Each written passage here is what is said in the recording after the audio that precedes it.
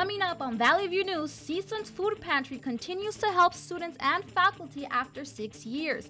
Plus, gas prices are finally going down after peaking at $5 a gallon. Many students are breathing a sigh of relief while others find other ways to get around. And get to know a little bit more about what it means to be vegan. Hello and welcome to Valley View News. I'm Timothy Tien. And I'm Ricardo Sandoval. Congresswoman and CSUN grad Katie Hill resigned Sunday. The House Ethics Committee launched an investigation into whether Hill had inappropriate relationships with her aides. Hill says private photos of with, uh, of her with campaign staffers were leaked by her husband and her political opponents. Hill didn't deny the relationship. She apologized after resigning. She says she's pursuing legal action for the invasion of her privacy. California is burning. In the past month alone, Los Angeles had Saddle Ridge, Tick, Palisades, Oak, and Getty fires. The Getty fire erupted just north of Sunset near the 405 freeway. LAUSD and the San, Santa Monica Malibu Unified School Districts, UCLA, and Santa Monica College all canceled classes. Authorities shut down Topanga Canyon Boulevard between Mulholland Drive and PCH. Governor Gavin Newsom declared a statewide fire emergency. A San Francisco Bay Area city Vallejo declared a water emergency Sunday as crews fought two nearby fires. The city says a blackout was ordered by Pacific Gas and Electric. The blackout means Vallejo won't have power to pump well water. CSUN's food pantry continues to help students and staff who are in need of free food. Valley View News reporter Isa Garcia explains. CSUN's Food Pantry provides nourishment and basic necessities to students, faculty, and staff in need. People can use the pantry once a week. Crystal Bowen is a student assistant. She says the goal is to prevent hunger on campus. To help minimize the academic impact on students um, who are in need of food. So, what we do is we provide a bag of food, supplemental nutrition items.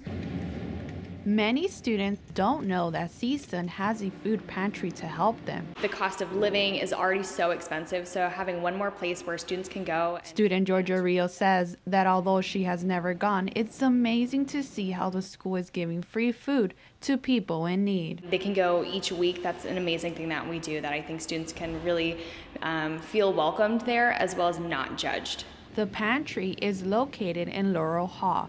It has toiletries, canned goods, and dry goods. Depending on availability, the type of produce varies monthly. We do get some really amazing figs. We got some of those recently from the Sustainability Garden. Um, we get oranges from the Orange Grove here. They do an orange pick um, once or twice a semester. Donations are accepted by appointment or during office hours of operation. Reporting from the San Fernando Valley for Valley View News, I'm Isa Garcia. Monks at the largest Cambodian Buddhist temple in Long Beach are being evicted. Khemara Buddhikaram has thousands of supporters who don't want that to happen, but there's a dispute over how to spend $300,000 in donations. As a result, the temple's board wants to evict the monks who live there, but the monks claim that the board is really trying to prevent them from making necessary repairs to the temple. Another horse died last Sunday at the Santa Anita racetrack. Bye Bye Beautiful was a two year old filly. She suffered a leg injury during a race and had to be euthanized. It was the second race since September. This is a 36 horse death since last December. Meanwhile, the California Horse Racing Board will be releasing a statement this week about the Santa Anita racetrack.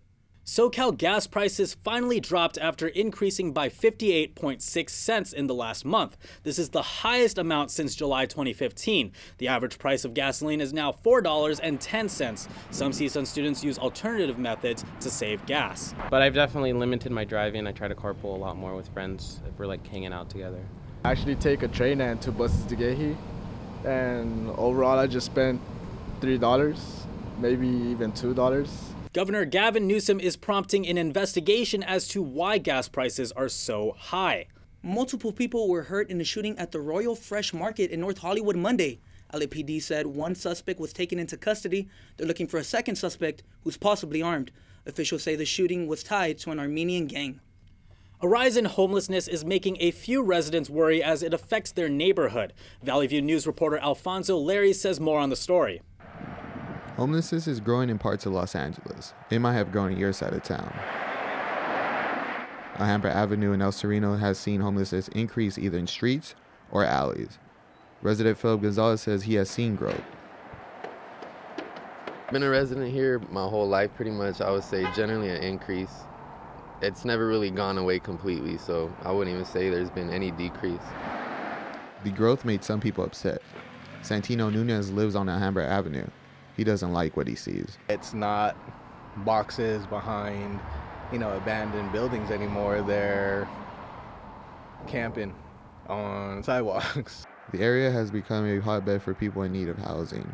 Police have made homeless move, but after a period of time, they return.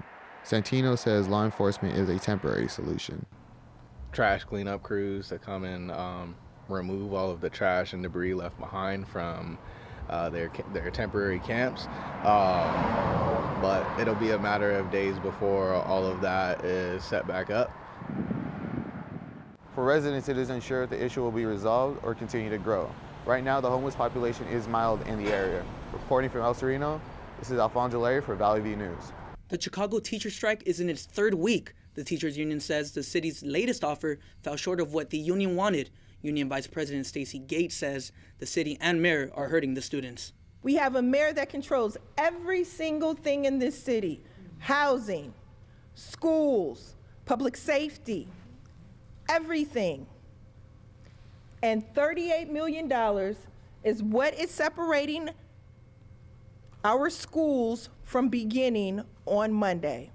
That is no longer just something that sounds ridiculous, it is a failure. Students have now missed at least eight days of classes. Former Congressman John Conyers died Sunday. He was 90 years old. Detroit police say he died in his home from natural causes.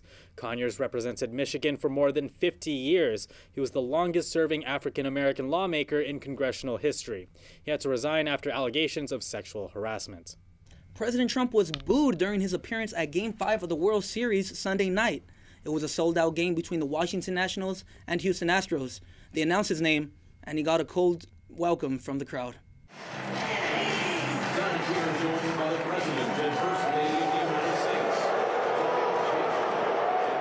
President Trump attended with First Lady Melania Trump, a group of congressional Republicans. They were seen smiling and posing for selfies throughout the game. President Trump left during the eighth inning.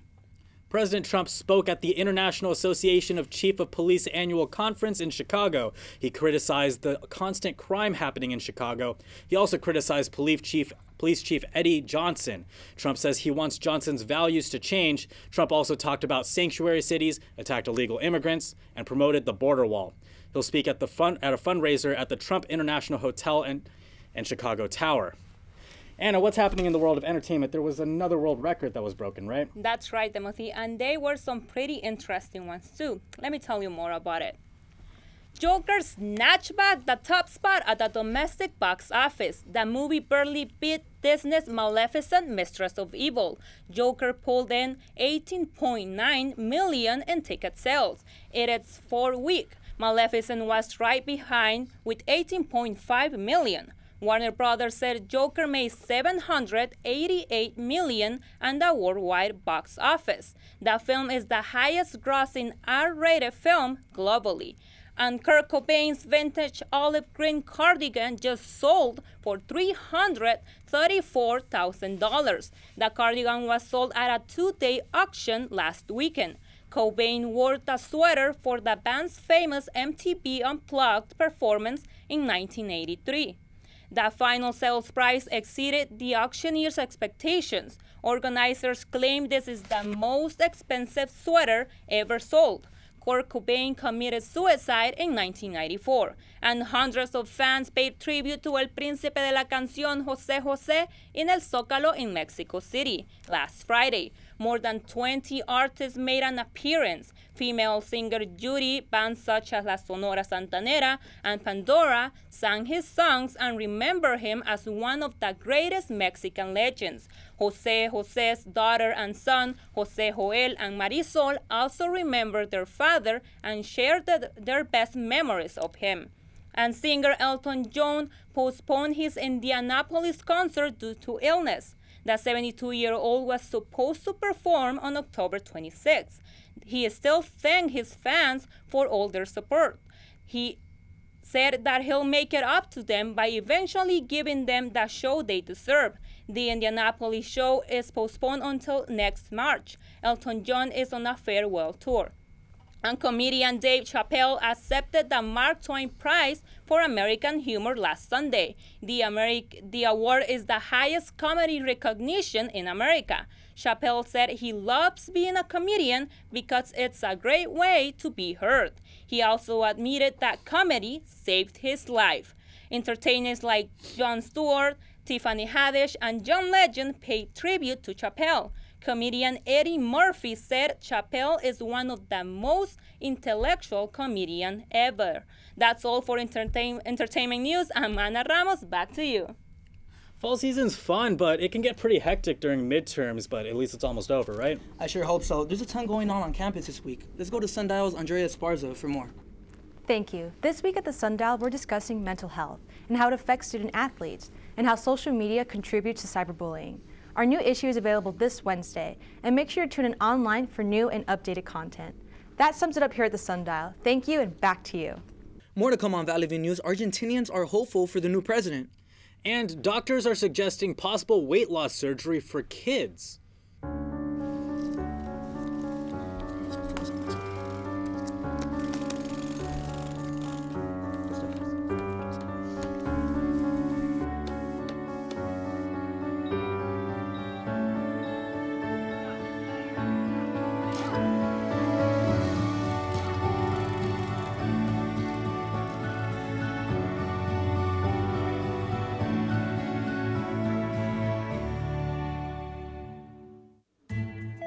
Did you make the transfer to Hong Kong for the Emerson project? I was just about to, but did you see the boss's email?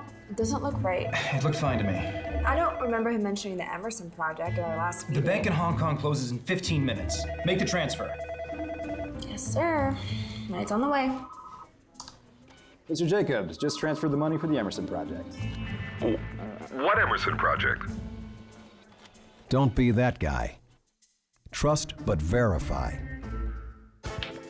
You made her college years possible, opening that education savings account when she was little, spearheading campus tours, and deciphering financial aid. If you can ace planning for college, you can do it for retirement. Get on track with tips at aceyourretirement.org. As usual, there's a lot going on around the world. Let's hear from Carissa Preciado in our Digital Media Center. Argentina has a new president. Leftist Alberto Fernandez won during the first round of it of elections this weekend. Fernandez beat center-right politician Mauricio Macri with more than 80% of the ballots. Macri has been president since 2015. Many say he failed to deliver on his promises, one being more economic growth. Fernandez hopes to take the nation out of its deep recession. Chile's President Sebastián Piñera appears to be listening to his country. A day after a huge protest in the streets of Santiago, Piñera changed his cabinet. The president tweeted, we have all heard and understood the message of Chileans. I have asked all ministers to make their positions available. We're working to form a new team that represents change. The country has been in state of emergency for nine days now. Bogota, Colombia elected Claudia Lopez as its first female mayor last weekend. She promised to fight corruption and push for equal rights in Bogota. Lopez had more than 1 million votes. She beat runner-up Carlos Galan by 3%. Lopez is also the first openly lesbian mayor in Latin America. President Trump announced that ISIS leader Abu Bakr al-Baghdadi was killed by U.S. Special Forces last weekend. He says U.S. forces attacked al-Baghdadi's compound in northern Syria. They cornered him. At that point, he blew himself up. It's good news in the ongoing fight against the terrorist threat posed by uh, jihadist groups like ISIS uh, and Al Qaeda. This is uh, a real uh, blow against ISIS and a positive step in the fight against stateless terrorism. But some other Democrats say they're concerned about the operation secrecy. Britain was given more time to decide whether it'll leave the European Union. The EU gave Britain a three month extension, meanwhile, Parliament is in deadlock over Brexit. But Prime Minister Boris Johnson is trying to keep this parliament from stalling. Johnson thinks a quick election will help Parliament's vote in favor of approving Brexit. Lebanon could be could be days away from, from economic collapse. Central Bank Governor Riyad Salameh says Lebanon doesn't have much, much time to waste. It's a matter of days because the cost is uh, heavy on, uh, on the country, but more important, we're losing every day confidence, more and more confidence. And finance and economy, it's all about confidence. Protesters flooded the streets calling for the resignation of all political leaders. This includes the National Unity Government of Prime Minister Saad Hariri. Salameh says Hariri wanted to resign, but changed his mind. Hariri released an ambitious 17 point plan to resolve the issue. But protesters didn't like it. Lebanon has faced its biggest protest in 15 years. Holiday fireworks celebrations in India turned deadly when residents of New Delhi woke up to a massive levels of pollution.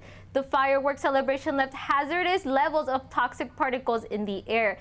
Thick smog also made commuting difficult. The Supreme Court banned most fireworks for the Diwali festival because of air pollution, but that didn't stop some people from setting them off anyways. Officials say the air quality index was pushed to record levels. Hong Kong is now in a recession after five months of protests. The city's economy was also hit hard by U.S.-China trade war.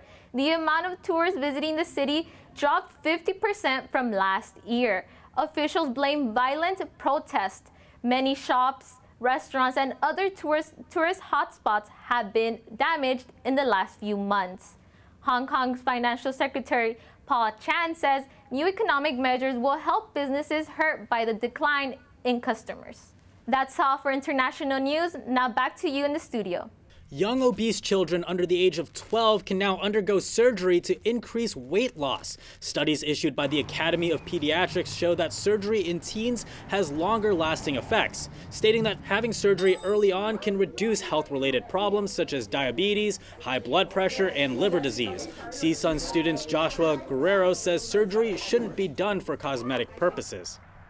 A surgery would then be like ethical if the kid's life were in danger. So if like they have difficulty like breathing or like their insides like just can't like retain the food or anything like that.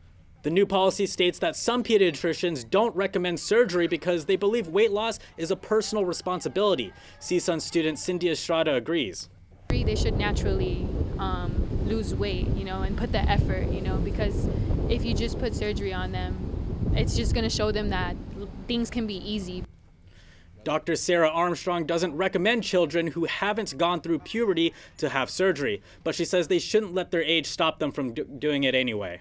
Though some are in disagreement, the Academy says children with a body mass index of 40 or higher are eligible for surgery. Testimony started for a case involving Missouri's last abortion clinic. Planned Parenthood is fighting to keep its St. Louis clinic open. State health officials want to revoke the clinic's license. It cites several failed procedures. City officials say a ruling isn't expected until February. If the license is revoked, Missouri would be the first state without an abortion clinic since 1974. The CDC says vaping illnesses are declining. Experts say recent legislation may have something to do with it. Most patients have reported vaping THC, but health officials still can't identify the problem. Now, the CDC is looking into whether the heating process in e cigarettes could be involved. New studies found a link between vape marketing and sweet flavors and vaping habits. A study published in the official journal of the American Academy of Pediatrics found flavored e cigarettes use led to continued vaping. The study says high schoolers who use sweeter flavors vaped more than those who use traditional flavors like menthol or tobacco. Another study from the same journal also found that young people exposed to vaping marketing were likely to try it the following year. It also found that social media had a huge influence. Rain can't slow down Marine Corps marathon runners. Last Sunday, tens of thousands of runners and spectators gathered in the Washington, D.C. area. Everyone who crossed the finish line was completely soaked by the end of the race. This year's winner was 27 year old Jordan Tropf from Maryland. He finished in 2 hours and 27 minutes. Illinois Governor J.B. Pritzker is in favor of legislation allowing college athletes in the state to make money from endorsements. Governor Pritzker says college athletes deserve the same opportunity as professionals. I'm asking the General Assembly to join us in passing this bill in the veto session, making Illinois the second state in the nation to stand up for giving student athletes their rights in a billion dollar industry that they helped build. Any other student who has a job on weekends to make money while they're in school gets to keep what they earn. So, why shouldn't student athletes be afforded the same rights? Governor Gavin Newsom signed a similar bill earlier this year and made California the first state to allow college athletes to make money off their names. The bill takes effect in 2023. Tiger Woods, arguably the greatest golfer of all time, captured his 82nd PGA Tour victory on Monday. Tiger Woods won the Zozo Championship in Japan and tied with Sam Snead for most wins of all time. He won on a three stroke shot. Woods' 82nd victory came 23 years after his first win. The 43 year old came off his fifth knee, in, knee surgery in December. After all his injuries, he's still winning. It didn't take long for Woods to win another major tournament. He won the, his fifth master tournament back in April. A Chicago judge ruled the cross country athletes cannot compete this weekend because their teachers are on strike. As many as 15 parents filed a lawsuit against the Chicago Board of Education. The school board says they are complying with the Illinois State Board of Education by not letting students participate. Some student athletes are very upset about this. We've worked so hard. We've put in all the work the last four years, almost every single day of the year, through rain, snow, you name it, we're out there running. We've put all the work in, and we all have the opportunity to do great things in these upcoming races. Thousands of teachers continue to strike. They're demanding higher pay, smaller class sizes, and better staff support. Coming up on Valley View News, a famous chicken sandwich is coming back. Also, some vegans are preparing for the World Vegan Day. Stay with us. I want to eat, eat, eat apples and bananas. I need to eat, eat, eat apples and bananas. Why can't I eat, eat, eat apples and bananas? Support the Feeding America nationwide network of food banks to help provide meals to those in need. Join us at feedingamerica.org.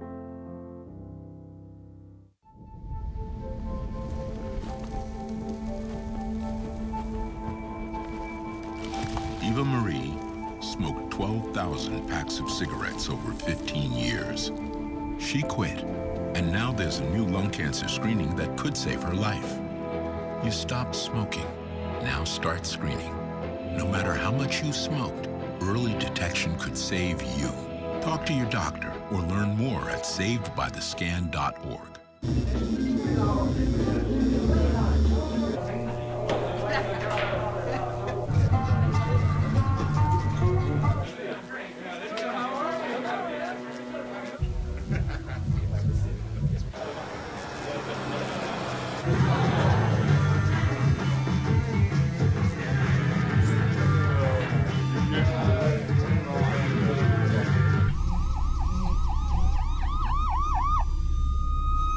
So I've come up with a family emergency plan. Great. What is it? It's difficult to talk about, so I'm not telling you. How will we know what to do? You won't. I'm so glad I won't have to remember anything. And me too. Thanks for this, sweetie.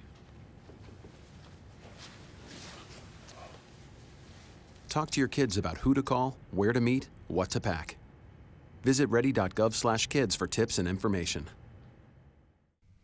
The Popeyes chicken sandwich is making a comeback this Sunday. The highly anticipated chicken sandwich debuted in August. It quickly sold out everywhere in just a few weeks. The sandwich sparked Twitter beef with Chick fil A and some other fast food chains. After Popeyes took the sandwich off the menu, many consumers anxiously waited for its return. Popeyes even started a Bring Your Own Bun campaign. It encouraged customers to make their own sandwiches due to the popularity.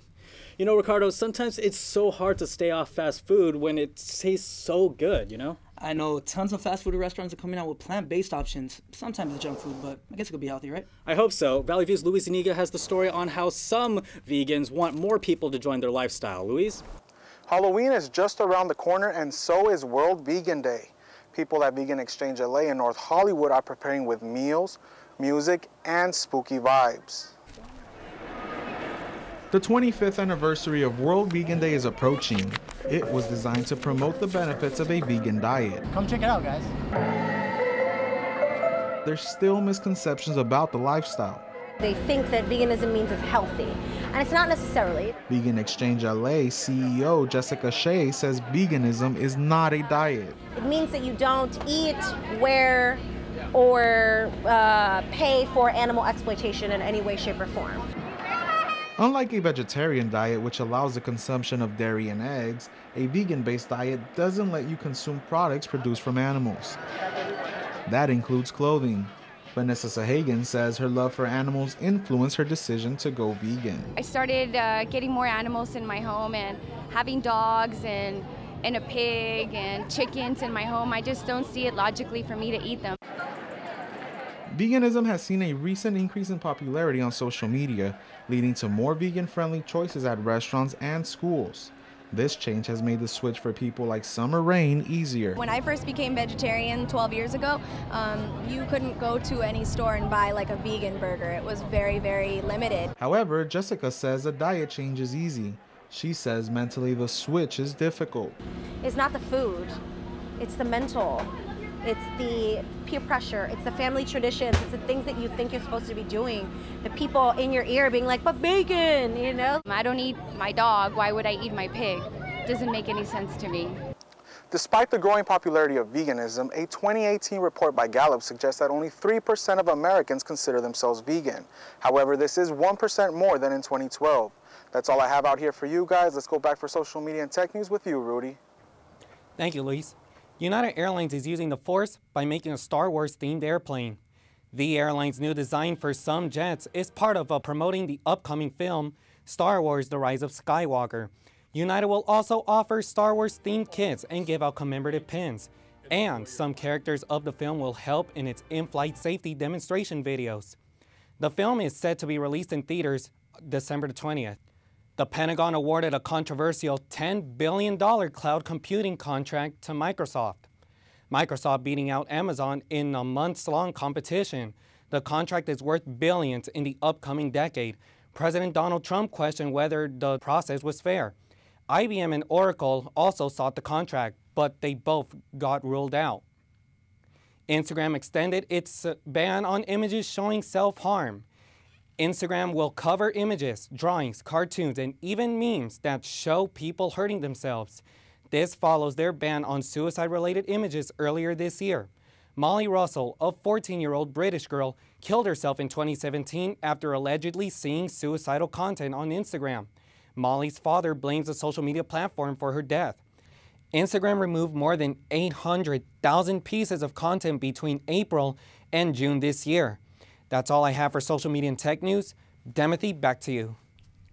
A home in Pennsylvania turned into a monster, a Cookie Monster. Homeowner Lisa Bowl transformed her front door into the bright blue beast. She painted the vines around her home blue, shaped the entrance into a mouth, used plastic foam for the eyes, and of course, she added a tasty chocolate chip cookie. Bowl says a lot of people stopped for pictures. She was inspired by the 50th anniversary of Sesame Street. That's all for us at Valley View News. Thank you for watching. I'm Timothy Tian. And I'm Ricardo Sandoval. For news any time of the day, go to our website, sundial.csun.edu. See you next week.